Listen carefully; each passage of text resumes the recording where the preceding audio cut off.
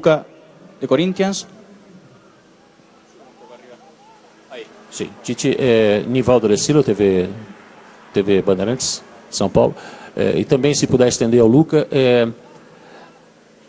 num, num, num, grupo, num grupo desse, é, equilibrado, você, você ganhar fora de casa na primeira rodada, ainda tem muita coisa por acontecer.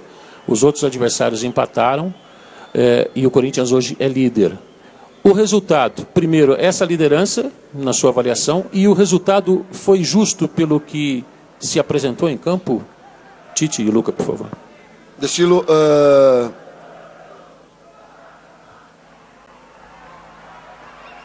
ser ou estar na, na, na liderança com a primeira rodada é muito circunstancial, porém é extremamente importante vencer fora.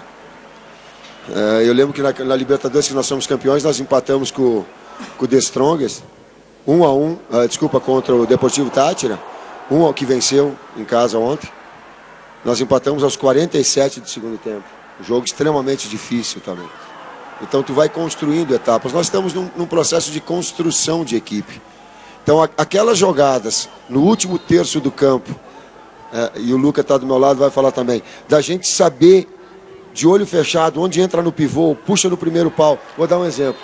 Nós tivemos uma chance de gol clara como o Giovanni Augusto, quando ele girou para fazer a, a, a, finalização ou cruzamento, ele, ele, ele cruza no funil. Se ele faz, isso é entrosamento, se ele faz o cruzamento na área, nós teríamos uma chance, uma oportunidade. Por quê? Porque é um processo de formação da equipe. Então, ainda esse último terço, ele tem muita margem para acrescentar. Né? Agora, a equipe buscou desde o primeiro, ela não, ela não abriu mão de jogar, ela buscou a vitória do primeiro ao último minuto. Para el jugador Luca. Sí, exacto.